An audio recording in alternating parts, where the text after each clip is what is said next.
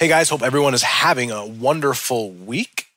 I am recording this on my way from vacation. So I'm going down to the beach for a couple days. I'll be working for there.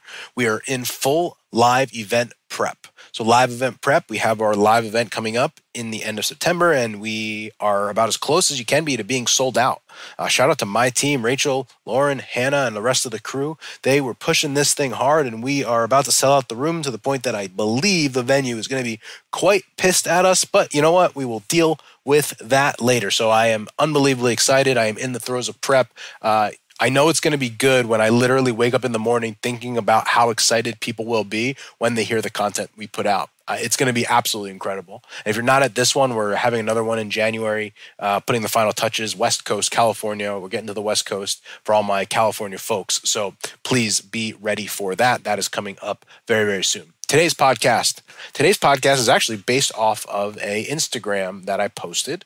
Um, two days ago from this recording. So that would be, I believe it would be Thursday in August, and I don't know my dates. But the podcast was at, on the heels of my CEO event in Florida, where I was in the room with two days. I was in the room for two days with a dozen healthcare entrepreneurs, a, a group that I've been a part of for I think four or five years now. And I calculated roughly over $15 million of revenue in that room. And what's crazy about these groups is oftentimes they disband after two years, and ours has been together for almost five. And so to watch the journeys that people have been on, like literally doubling, tripling revenue, double, tripling staff uh, over time, has been absolutely incredible to watch, and so many life lessons. And so when I posted on Instagram the five lessons that I took away, got some really amazing feedback from some other healthcare business owners, and I wanted to go through and give you more of it because I know in the the format that I put it online it becomes very very short form and it's good but I wanted to give you some long form content. So, this is the five areas of which I learned the most from my two days. Just to give you an idea, number one, your business is missing a dependable person. Number two, growth doesn't always mean revenue. Number three, scaling marketing is about becoming a media company. Number four, the four stages of growth. And number five, most people stop because they are bored. So I dive deep into those five lessons that I learned in my CEO group this past week. I hope you enjoy the pod. And hey, please, please, please leave us a five star review on Apple, on Spotify, wherever you get your podcast. It helps spread the podcast word, algorithm, all that jazz. At least that is what they tell me. I appreciate all of you, and we will see you soon. What's up, everyone? Welcome to the Business School for the Rehab Chiropractor. Class is officially in session. My name is Justin Rabinowitz, and I am a rehab chiropractor on a mission to teach you, a fellow rehab chiropractor, the exact tools and systems I've used to build my own successful rehab chiropractic practice so you can do the same. I hope you enjoy and please subscribe. All right, so number one, your business is missing a dependable person. Anything frustrating in a business at about $500,000 and above typically revolves around the founder trying and failing to do everything. It's exhausting. So, as I start to look at the growth and progress of our members in the Rehab Chiro community, the ones that are having success, they work by themselves often and they get out of the gate pretty hot and they'll do all the marketing, all the sales, and they're just highly motivated individuals. And then you start to run the math on what that looks like. And so you guys can just take out a pen and paper and start to crunch numbers. So let's just say someone's charging $300 per hour and they see 30 hours of patients per week. If you want to push it to 35, you can do that. And you want to push the number up above that of their hourly rate, you can do both of those. But I think that gives us a pretty good idea. And so if you run those numbers, 30 hours of treatment times $300 an hour, you're looking at about $9,000 per week times 4.2 weeks in a month. That's $37,800 per month times 12 is about 450,600. And then you factor in vacation and, and things like that. If you really look at it, when we start getting to that 350 $400,000 mark as a solo operation, you are completely tapped out. And so I was a little generous in the half a million dollar, $500 mark. Realistically, after about $350,000, $400,000 max, max, max in your business, the only possible way that it will grow is if you have dependable people in your business that can help you grow this thing. Now, for most people, step one is just getting a person, almost worrying about later if they are dependable or not. But in my CEO group, what we found was people at 500,000, 600,000, 1 million, 1.1. You know, some people had teams of 15, 16 people on their team. This is no joke 15 or 16 people in a $1.2 million business. But the business was missing one or two dependable people. And the founder of this company, the owner of this company, even though there was a lot of people in that business working really hard in that business, that you could tell the founder was so stressed that he just felt he needed to put the world on his shoulders and just carry this thing across the line. And what we realized we were breaking down his business, but it wasn't a marketing problem, it wasn't a sales problem, it wasn't a finance problem. It was that there wasn't one to two dependable people that can help move that business forward. And so if you think about in your personal life, I hope your spouse or someone close to you, they're just people that you can rely on, dependable people.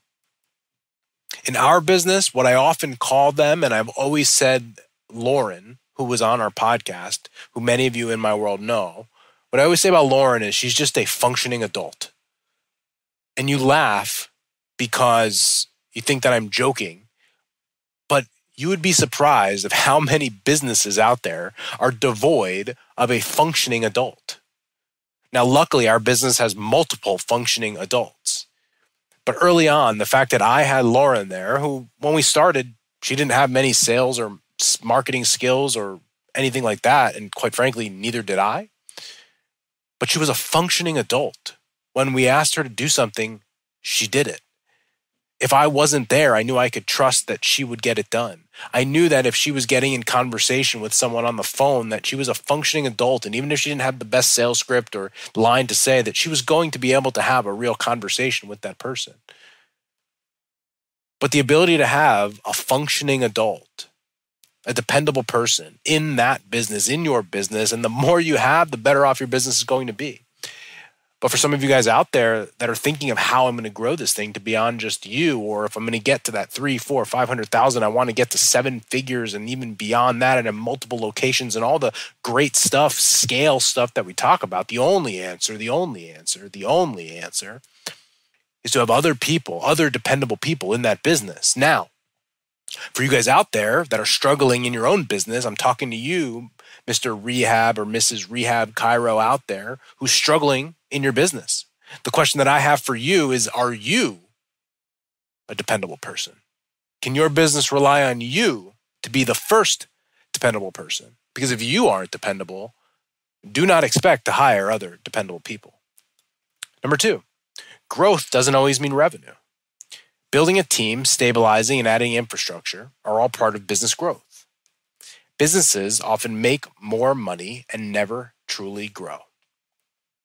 When I talk with my mastermind members about building infrastructure, about building the bones, about building the foundation of their business, revenue is part of it.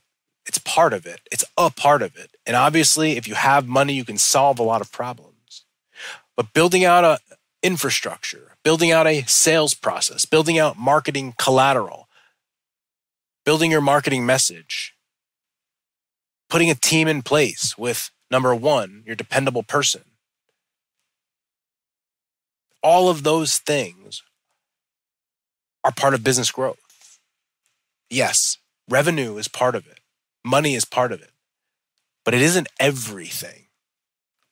And if you want to build that real business, your growth has to come from having a team, from building functional KPIs, from having backups in each position on the team and doing the various aspects of the business not involving revenue. Because I know a lot of businesses that are very good revenue businesses, but their business hasn't grown in 15 years. And so for you, if you're out there building your practice, understand revenue is part of it. More money helps, but it isn't everything. Number three, Scaling marketing is about becoming a media company. A business who thinks of themselves like a media company will always beat those who think of themselves as a healthcare business. I think so many of us are caught in that am I going to be ethical? Am the are the people around me, are my colleagues going to appreciate the marketing that I am doing? And what they forget is the best businesses in the world, healthcare or not, are in the business of becoming a media company, not in the healthcare business who puts out social media. And the ones who embrace this are the ones that are going to win. Now, if you are out there and that makes you uncomfortable, here's my challenge to you. Imagine a world where I come to your town in Tempe, Arizona, and build a rehab chiropractic practice down the street from yours.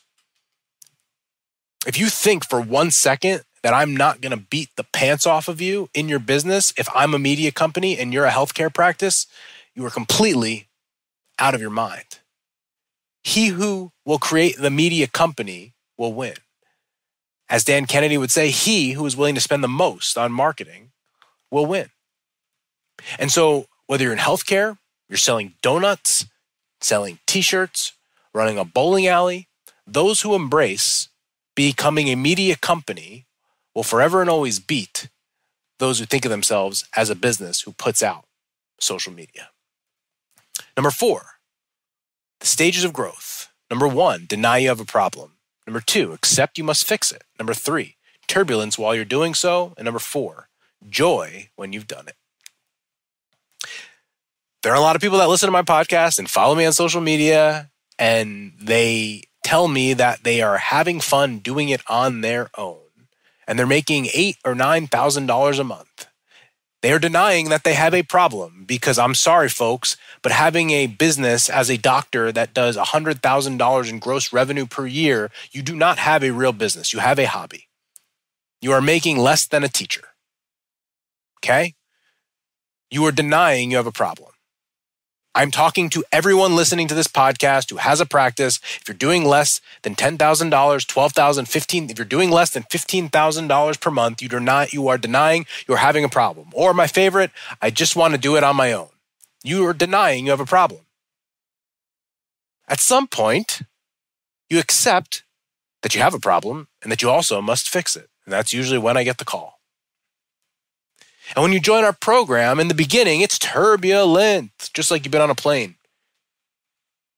You know how that goes. That is not fun. It's turbulent. Why? Because you're used to charging 80, and now I'm telling you to triple your price. And you've never set KPIs before, and I'm asking you to track your numbers. And I'm telling you to be accountable for social media, and you've never done that before. And it's turbulent, and it is tough. It is really hard. But you know what?